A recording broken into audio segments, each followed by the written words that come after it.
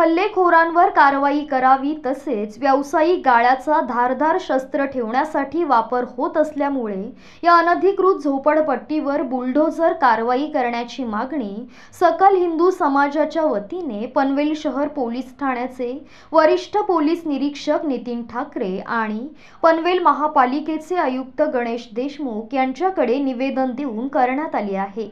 बावीस जानेवारी रोजी शहरातील युवकांवर काही समाजकंटकांनी ठार मारण्याच्या उद्देशाने भ्याड हल्ला केला.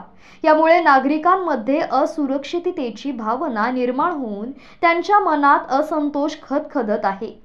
तो हल्ला पंचवीस ते तीस जणांच्या जमावाने केला होता. पण आतापर्यंत केवळ तीन जणांनाच अटक करण्यात आली असल्याने उर्वरित आरोपींना अद्याप मोकळे रान का देण्यात आला आहे हा प्रश्न पनवेलमधील समस्त हिंदू समाजाला पडला आहे. त्यांच्यावरही कारवाई करून अटक करावी अशी मागणी सकल हिंदू समाजाच्या वतीने वरिष्ठ पोलीस निरीक्षक नितीन ठाकरे यांनी भेट घेऊन करण्यात आली.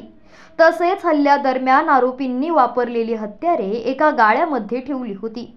या व्यावसायिक गाळ्याचा वापर दंगे पसरविण्यासाठी तसेच धारदार शस्त्र साठवून हत्येचा प्रयत्न करण्यासाठी याचा वापर करण्यात आला होता.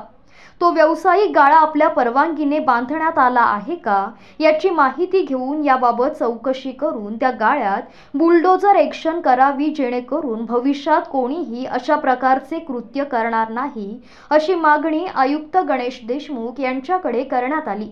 तसेच पुढे शहरात सुरू असलेल्या चर्चेनुसार जुन्या कोर्टाच्या मागे भरतनगर सारख्या अनधिकृत झोपडपट्टीमध्ये बांगलादेशी लोक राहत आहेत असे निदर्शनास आले होते.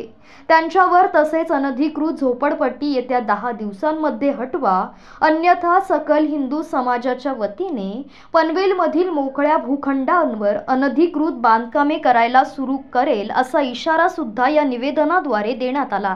निवेदन देताना भाजपचे उत्तर रायगड जिल्हा सरचिटणीस नितीन पाटील सकल हिंदू समाजाच्या वतीने निलेश पाटील माजी नगरसेवक प्रभाकर बहिरा परेश मुरबाडकर संजय मुरकुटे भूषण पोवळे युवा मोर्चा उत्तर रायगड जिल्हा अध्यक्ष मयुरेश नेतकर युवा मोर्चाचे चिन्मय समेळ समीर कदम प्रीतम म्हात्रे विधानसभा संयोजक रोहित जगताप युवा मोर्चा पनवेल शहर अध्यक्ष सुमित झुंजारराव केतन ठाकरे परेश सोनकर आकाश घाट संजय कदम विशाल सावंत रुपेश नागवेकर कुणाल जाधव उद्योजक राकेश पोटे कोमल कोळी हर्षदा सोळंकी निकिता फडके अपूर्वा सावंत यांच्यासह सकल हिंदू समाजाचे सदस्य उपस्थित होते.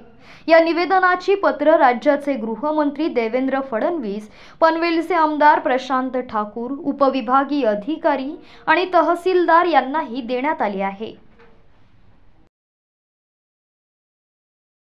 बावीस तारखेला जो आपल्या हिंदू बांधवावरती हल्ला झाला होता त्याच्या विरोधात पोलिसांनी तक्रार काही कारवाई केल्या होती.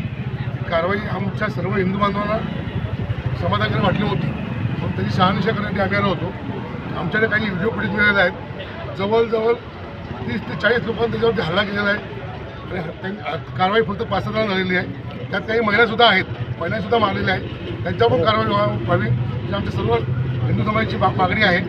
ज्या लोकांनी हत्यारं वापरली ते हत्यारं रिकवर झालेली आहेत. ज्या आमचा ज्याला एका कार्यकर्त्याला मारलेला आहे त्यांनी सांगितलं होतं का मला गाळ्यामध्ये घुसून घेऊन मारला होता. त्या गाळ्यामध्ये हत्यारं होती. किंवा गाळ्या ज्या गाळ्यामध्ये हत्यारं होती त्या गाळ्या धराकडून कारवाई व्हायला पाहिजे. ती हत्यारं कारवाई होऊन ते हत्यार रिकव्हरी व्हायला पाहिजे. आणि त्या मालकावरती पण गुन्हा दाखल व्हायला पाहिजे आणि त्यांच्या पण गुन्हा दाखल व्हायला पाहिजे. म्हणून आम्ही एक आज त्याला निवेदन दिलेलं आहे.